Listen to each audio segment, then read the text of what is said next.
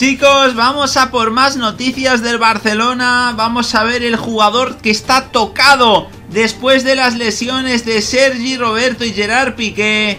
Y lo último de Messi que te va a dejar con la boca abierta. Vamos a ello.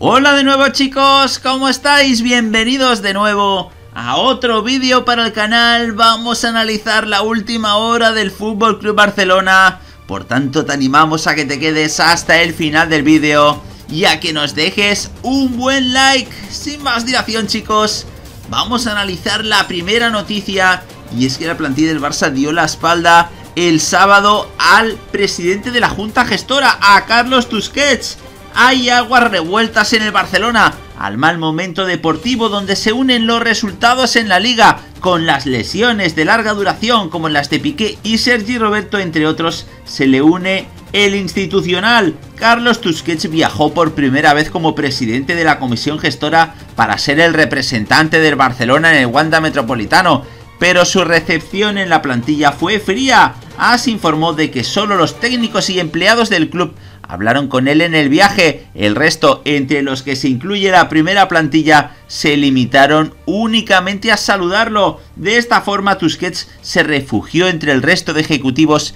que se desplazaron hasta Madrid para acompañar al Barcelona en la primera derrota en la liga desde la llegada de Diego Pablo Simeone. La misma fuente informó de que Leo Messi, capitán de la plantilla, apenas se dirigió a Tusquets lo que mostró el distanciamiento que hay entre la plantilla y la comisión gestora. Por tanto, vamos a estar muy pendientes alrededor de la negociación de la rebaja salarial. Vamos a hablar ahora de cómo el Barcelona piensa suplir la baja por lesión de Gerard Piqué. La desgracia se ha cebado con el Barcelona. Al margen de la derrota ante el Atlético, el drama estuvo en el parte de guerra, con Sergi Roberto y Gerard Piqué que se marchó incluso llorando del Metropolitano. A través de un comunicado, los azulgranas confirmaron que Piqué sufre un esguince de grado 3 en el ligamento lateral interno y una lesión parcial en el ligamento cruzado anterior de la rodilla derecha, un estropicio que le tendrá varios meses fuera.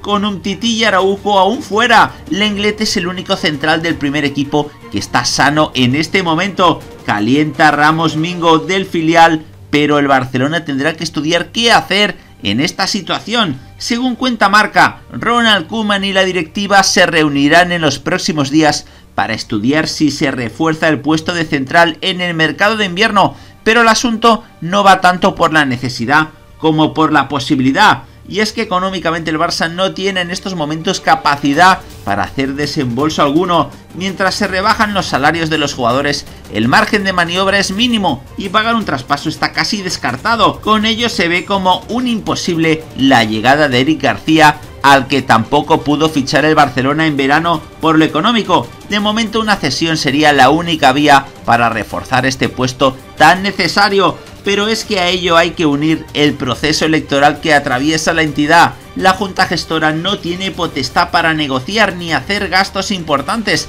ya que todo movimiento tendría que ser refrendado por el nuevo presidente. Teniendo en cuenta que las elecciones serán a mitades de enero, el margen se reduciría a la última semana del mercado, para que la nueva directiva dé por bueno el fichaje de un central que, vista la situación, Parece necesario de todas maneras chicos cómo les explicaría el presidente de la junta gestora a los jugadores y empleados con los que está ahora mismo negociando la rebaja salarial que se hiciera un gasto en un traspaso. Realmente la situación es muy mala. Vamos ahora a hablar, chicos, de Dembélé y es que tiene un hombro tocado. El francés fue seguramente el único azulgrana que destacó en el Wanda Metropolitano. El francés no hizo ni mucho menos su mejor partido con el Barça, pero lo intentó siempre que pudo y fue el mayor argumento ofensivo de los culés. Ser eso en una noche tan aciaga para el Barça es bastante y por eso hay que elogiarle y hablar bien de él, igual que a veces se le critica cuando no tiene su noche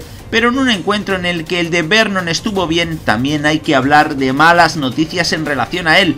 En la primera parte, Yannick Ferreira Carrasco cayó encima suyo en una aparatosa acción en la que el galo acabó doliéndose del hombro. La lesión parecía ser importante y dio la impresión de que iba a tener que ser sustituido, pero finalmente aguantó. El dolor se fue calmando y siguió en el choque con aparente normalidad. En la segunda parte el extremo siguió encarando y pareció que el dolor de hombro ya era agua pasada, pero en Mundo Deportivo señalan lo contrario. Parece que tras el encuentro el dolor volvió y este domingo se le han tenido que hacer pruebas para diagnosticar el alcance de la lesión. Según comenta en el Mundo Deportivo, el 11 tiene un esguince en el hombro que podría dejarle fuera de combate en los próximos partidos. Todavía no hay confirmación oficial por parte del Barça, por lo que conviene no asustarse antes de tiempo. No obstante, en las próximas horas podría haber comunicado explicando qué tiene el francés y cuánto tiempo podría estar fuera. En principio todo indica que la dolencia no es importante, pero hay que esperar para ver cómo tiene de afectado el hombro para hacer un diagnóstico preciso.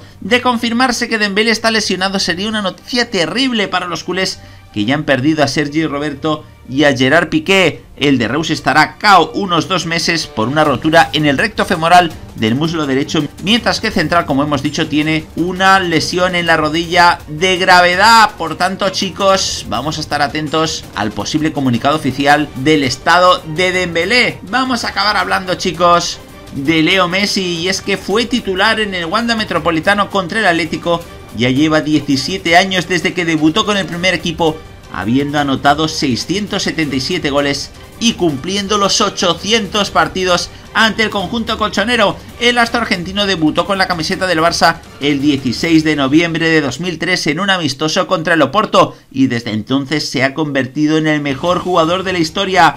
En total Leo Messi acumula 800 enfrentamientos defendiendo la camiseta del Barcelona, siendo de ellos 742 oficiales y 58 amistosos y acumulando un porcentaje de derrotas de solamente un 11%. En estos 17 años acumula 561 partidos ganados, 519 de ellos oficiales, 149 empates, 137 oficiales y 90 derrotas, 86 oficiales, datos que reflejan una trayectoria muy positiva. Naturalmente en la trayectoria de Leo Messi en el Barça no se puede descuidar el aspecto goleador, en el que el astro argentino ha destacado especialmente acumulando hasta 6 botas de oro en su palmarés.